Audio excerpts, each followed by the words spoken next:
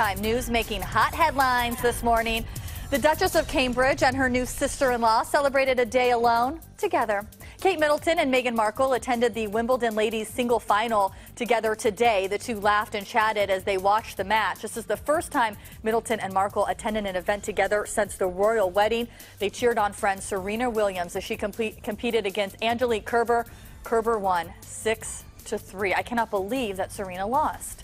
Nike's famous designer Tinker Hatfield is speaking out on his most hated Jordan sneaker. Hatfield says he wishes he never made the Jordan 15. Why?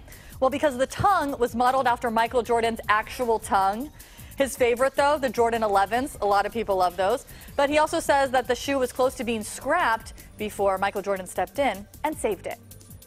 Miley Cyrus came in like a wrecking ball on her social media posts. The actor and singer deleted all her Instagram photos Friday. Her official website and Twitter also took a hit with her bio and profile photos appearing blacked out. Hours later, she began trending on social media. Fans quickly posted their creative theories with the hashtag Miley is coming, anticipating a big announcement in the future. Oh my gosh, could she be pregnant? New music?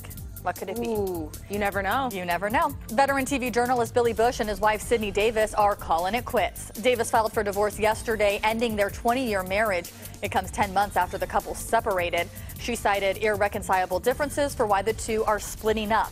Davis has requested joint legal and primary custody of their two kids. She's also seeking spousal support from Bush. And supermodel Kate Upton just announced she's expecting her first child. She posted this pic today from Miami announcing she is pregnant. It's unclear how far along she is. Upton married Houston Astros pitcher Justin Verlander in November after dating for five years. They got married just after the Astros won the World Series. And that is Yo Hot Headlines. Very good, very good. Very well informed. Well, fast moving relationships is also making Hollywood headlines after news broke that